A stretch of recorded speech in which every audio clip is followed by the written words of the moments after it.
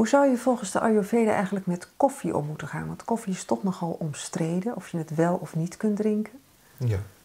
ja, nou het mooie van Ayurveda is dat het nooit voor of tegen een bepaalde substantie is. Het kijkt altijd naar van, eh, afhankelijk van de dosis, van de omstandigheden, kan iets een, een goede voeding zijn, eh, of zelfs een geneesmiddel of een gif. Uh, maar daarvoor moet je de aard van het beestje weten. In dit geval de koffie. En als we naar koffie kijken, hoe het volgens Ayurveda geclassificeerd wordt, dan zeggen ze van uh, via de smaak bitter die in koffie terug te vinden is, kun je afleiden dat er veel lucht in koffie zit. En lucht is bewegelijk. Nou zie je nooit een koffieboon uit de pot springen en wegrennen. Dus in die zin is het niet bewegelijk. Maar je kunt de bewegelijkheid in koffie afleiden uit wat het allemaal doet voor mensen. En als mensen veel koffie drinken, dan zie je dat ze veel bewegelijker worden. Ze gaan meer praten, ze gaan meer bewegen, uh, alle kanalen gaan bewegen. Dat kan leiden dat mensen plotseling naar de wc moeten, dat ze gaan transpireren en dergelijke. En dat ze ook drukker worden.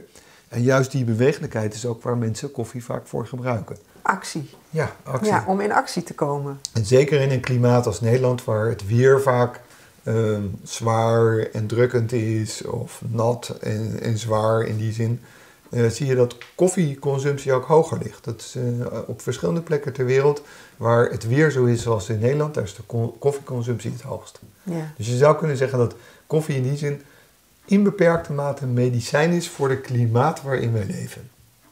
Aha, dus dat is de goede kant ervan. Dat is de goede kant ervan. Maar neem je er te veel van, met name mensen die dat al te veel hebben, dat, uh, met name die kwaliteit bewegelijkheid, kan heel erg geactiveerd worden. Dus als mensen te veel koffie drinken, zeker als ze daarvoor voor gevoelig zijn, dan kunnen ze te bewegelijk worden. Dan gaat het het zenuwstelsel irriteren, kunnen mensen problemen met de darmen krijgen, ofwel constipatie, dat de beweging juist stopt, of dat er hyperbeweging uh, ontstaat, dat mensen van koffie heel snel naar de wc moeten. Al die dingen die overbelasten het systeem voor mensen die daar gevoelig voor zijn. Dus koffie, qua dosis, uh, wees er voorzichtig mee als je er te gevoelig voor bent.